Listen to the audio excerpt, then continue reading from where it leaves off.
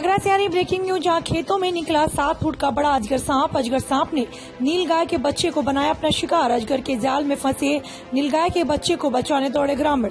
बड़ी मशक्कत के बाद नील गाय के बच्चों को ग्रामीणों ने अजगर के चंगुल से कराया आज़ाद फतेहाबाद के थाना निबोरा क्षेत्र के भोगपुरा गाँव का मामला।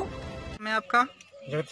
कौन से गाँव से गाँव भोपरा अच्छा जो तुम्हारे यहाँ क्या आज मैटर हुआ है? मैटर सब एक पहाड़ का बच्चा था। हम्म। कीड़ा में सताया। हम्म। हमने जानी कि इसमें क्या वापर हो रहा है? सब बाज़ार में दसके गए थे। हम्म। भाज गई। हम्म। और बच्चा कीड़ा पकड़े हटा रहे हम्म। हमने बच्चा बचा लो और कीड़ा कीड़ा बाँध के डालता हुए हम्म। हाँ। बच्चा सही सलामत पकड़ हाँ छोड़वा दिया। सही सलामत है। अच्छा। हाँ। अब तुम क्या चाहते हैं इस कीड़े के तो वजह कैसे यहाँ चले हमारे बाली बच्चे यहाँ रहते हैं। हम्म। यहाँ से गुब्बार चले तो और बढ़िया है। ठीक।